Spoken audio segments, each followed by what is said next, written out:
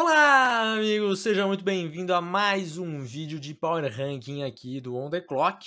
Eu sou o Felipe Vieira e vamos comigo passar sobre os 32 times e falar como que tá a situação de cada um deles. Antes de mais nada, dá o seu likezinho, se inscreve aqui e vire membro do canal que tem muito conteúdo para membro também, certo? Vamos lá, começando com o número 32, um novo número 32, tá? Jacksonville Jaguars, seja bem-vindo. 0-4 para Jacksonville Jaguars. Talvez possa ser um pouco puxado demais com Jacksonville Jaguars, mas a situação tá complicada. Até conseguiu criar uma competitividade ali contra o Houston Texans, mas a verdade é que esse foi ainda o melhor jogo e perdeu do mesmo jeito. Então, Jacksonville Jaguars precisa melhorar muito ainda. É um time que o Trevor Lawrence não tá jogando bem, a defesa tem seus problemas, enfim, muitos problemas em Jacksonville Jaguars, então 32 time, o último time do nosso Power Ranking. Em penúltimo, nós temos o Miami Dolphins. O Miami Dolphins sem Tua Tango Valoa é um terror de se ver jogar. Meu Deus, que castigo que foi assistir esse jogo no Monday Night. Ainda bem que tinha um outro jogo lá, um horário simultâneo, que deu para evitar um pouco de ver um, um uma parte desse jogo, pelo menos, porque realmente estava duro de assistir esse Miami Dolphins. E já tentaram Tyler Huntley, já tentaram o Skylar Thompson e é tudo é muito ruim ali. Ninguém se salvou ofensivamente falando nessa semana. A situação é, é grave. Nem o Tyreek Hill jogou bem, sofrendo fumble e deixando e deixando por isso mesmo, não correndo atrás da bola. Tá tá difícil, tá? Tá difícil. Muitos legal shifts, muitas faltas, não tá legal não. Em trigésimo nós temos New England Patriots. New England Patriots que tem uma linha ofensiva que, olha, é, é duro de se assistir. E os Patriots que nesse momento eles têm uma estratégia ofensiva que é vamos correr com a bola.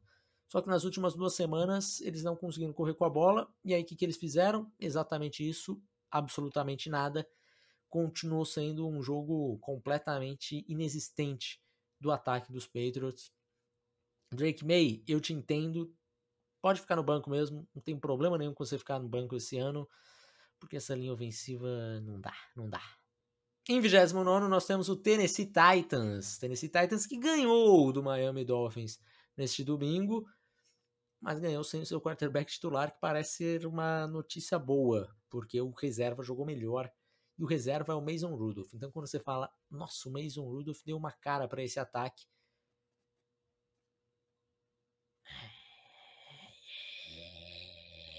Complicado, complicado, mas é isso. Tennessee Titans, parabéns pela primeira vitória, mas ainda assim não dá para confiar em nada nesse time. Ofensivamente falando, é um terror, tá?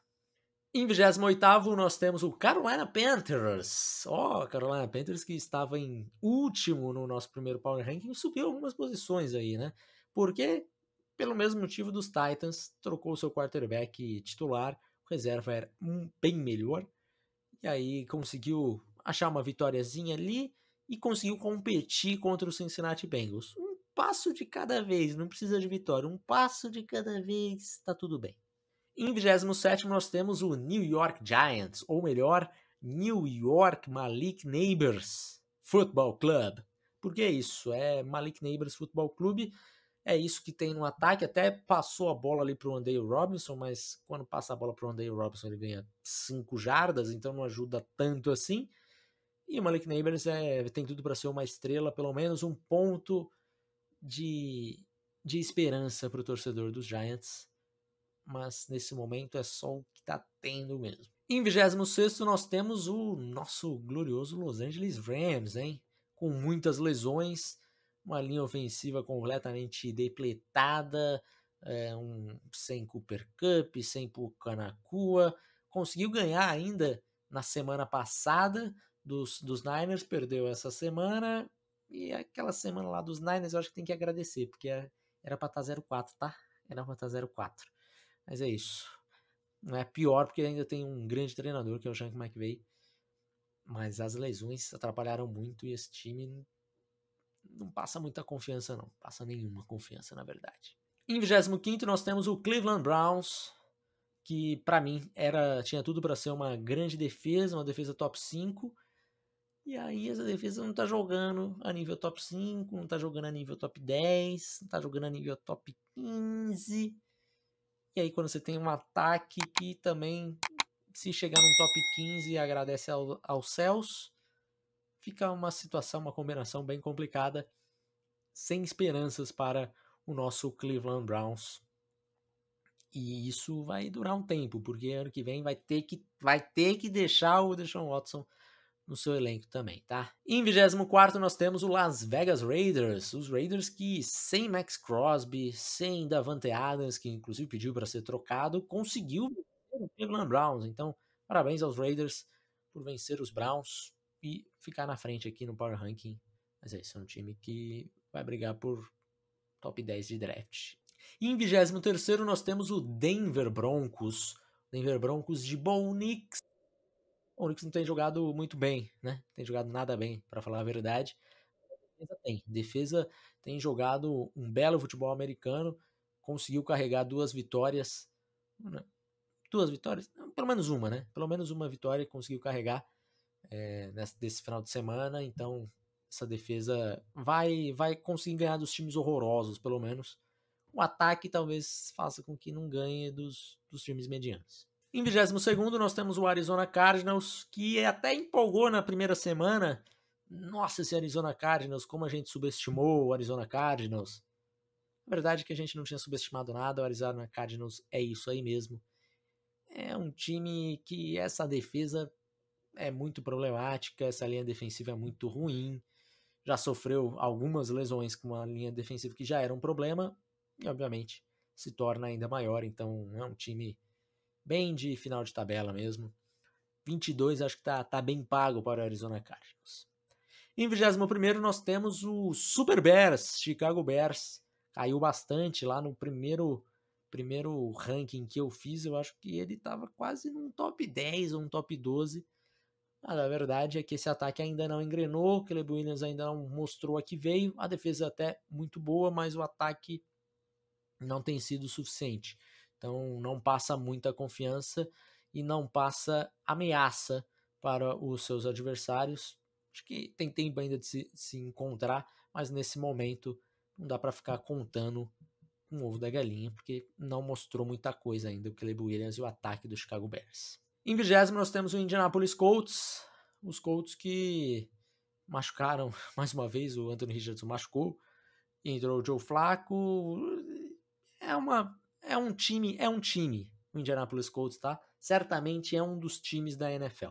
Em 19 nós temos o New York Jets. Os Jets que sofreram contra os Broncos nesse final de semana. Até tem uma boa defesa, um ataque que ainda não engrenou. O Aaron Rodgers até tá jogando bem, e isso é o que me preocupa mais. O Rodgers jogando bem, o resto do time não tá acompanhando. Então, Falta o quê? O Bruce Hall não tá jogando muita bola, o Garrett Wilson ficou no bolso do Patrick Surtain. Os outros jogadores precisam jogar mais bola, né? Será que o Davante Adams chega aí e dá uma mudada nesse ambiente, nesse patamar? Seria uma boa. Em 18 nós temos o Los Angeles Chargers, com um, uma defesa muito forte, com uma defesa que é bem certinha. O Harbaugh conseguiu já dar uma consertada nessa defesa.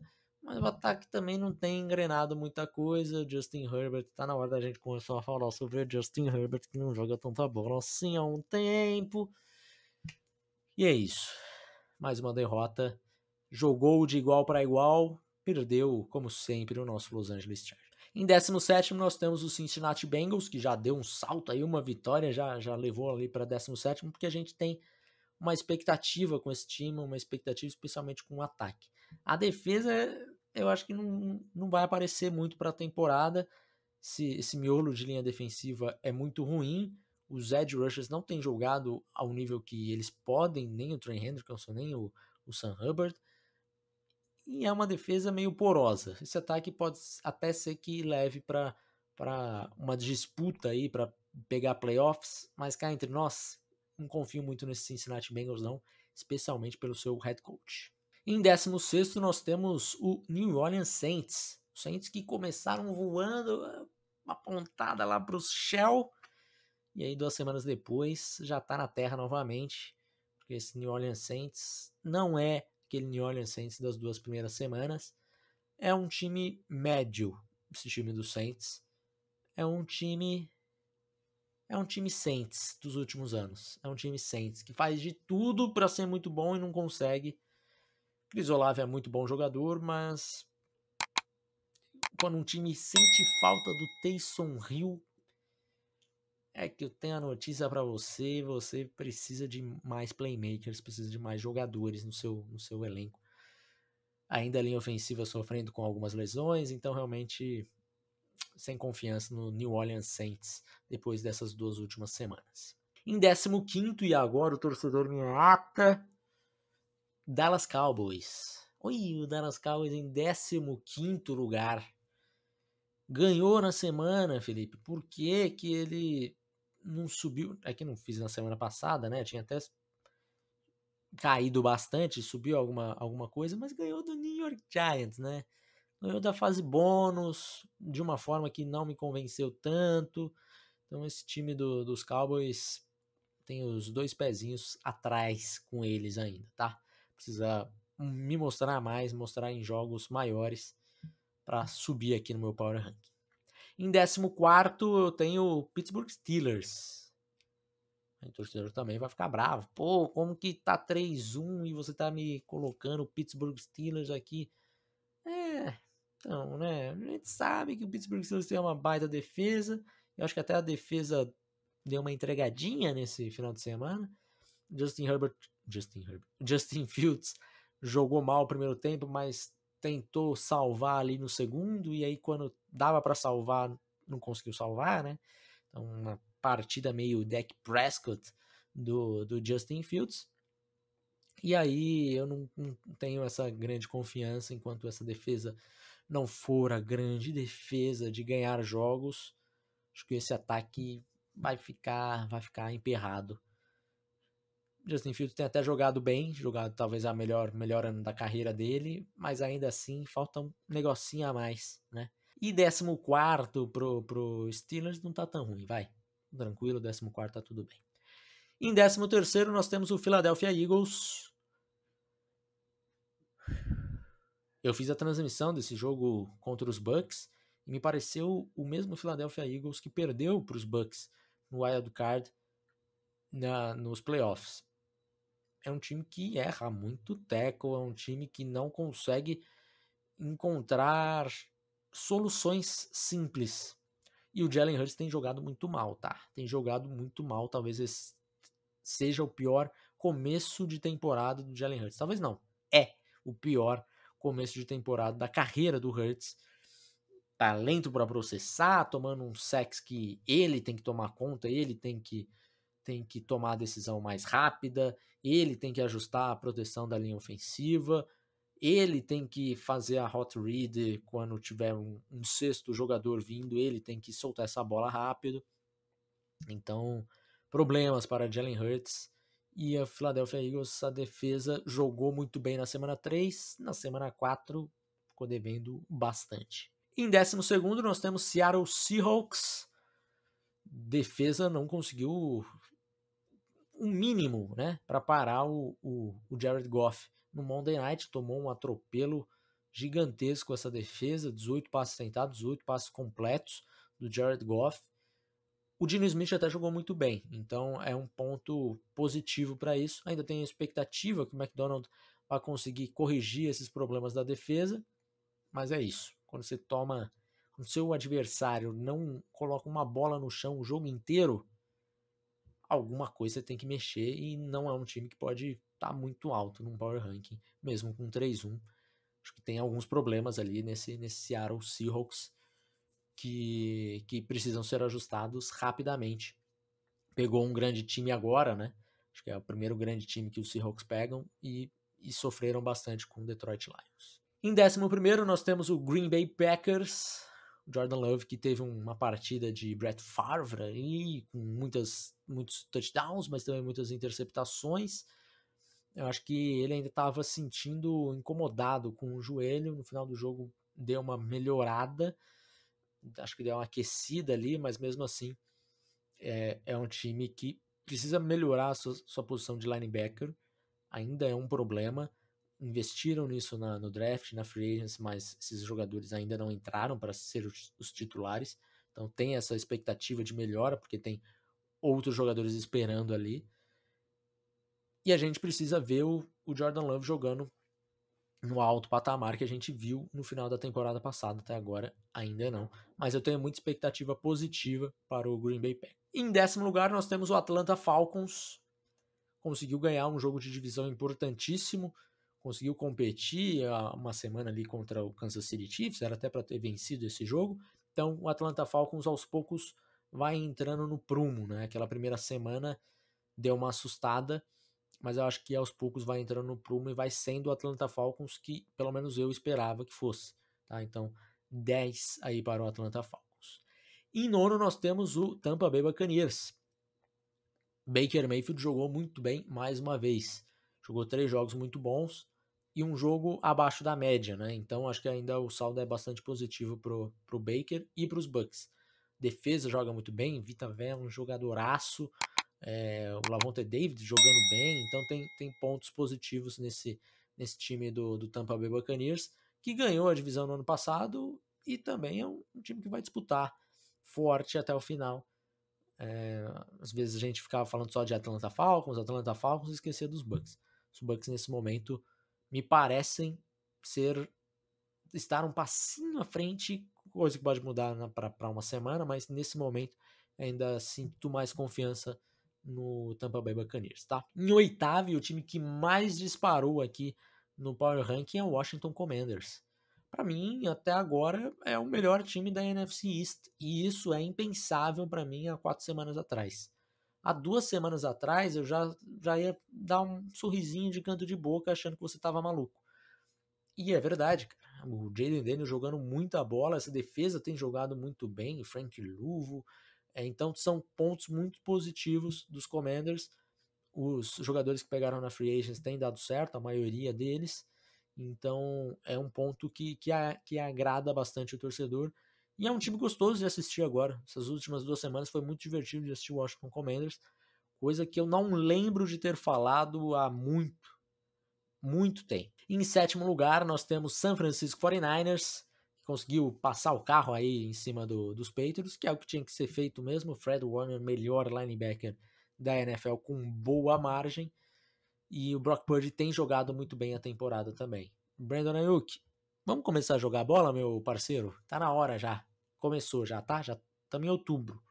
Outubro agora, tá marcado no seu calendário para jogar bola, né? Por favor, que eu tenho você em tanta liga de fantasy, cara. Em sétimo lugar, nós temos o Buffalo Bills, os Bills que estavam mais alto, mas tomaram um atropelo do Baltimore Ravens e foi um atropelo considerável. A defesa não conseguiu encontrar, o Derrick Henry não conseguiu encontrar o jogo terrestre, muitos problemas para essa defesa dos Bills.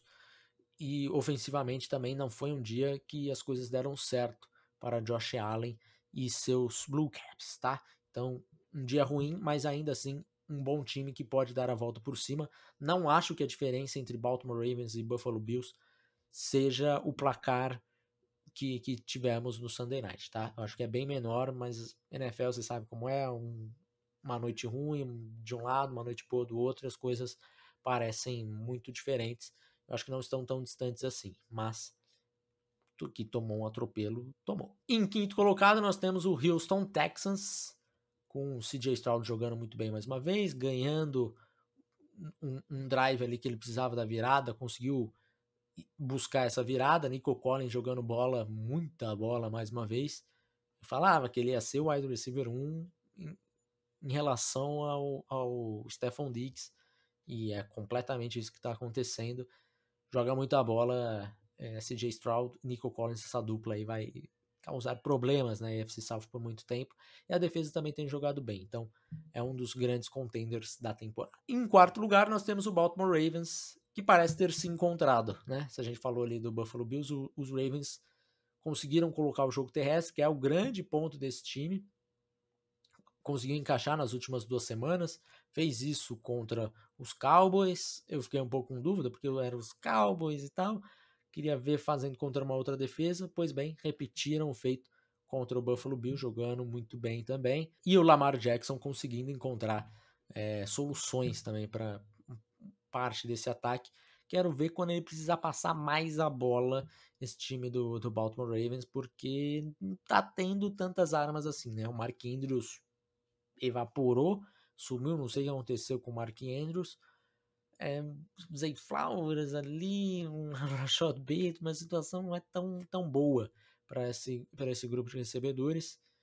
Eu falei lá do Devante Adams, talvez possa chegar um Devante Adams aqui em Baltimore também. Vamos. Em terceiro lugar, nós temos o Detroit Lions, que conseguiu vencer o, o Seattle Seahawks com, com bastante, bastante potência e, e mostrando que é um, um dos times a ser contender, como a gente imaginava que fosse. Defesa jogando bem, o Aiden Hutchinson jogando muito bem, é, e o ataque é difícil de parar, viu? Quando tá no, naqueles dias de Ben Johnson, é difícil de parar esse ataque do Detroit Lions. Em segundo lugar, nós temos o time sensação do momento, Minnesota Vikings. Sandaram de MVP? Não sei, eu acho que ainda não, né?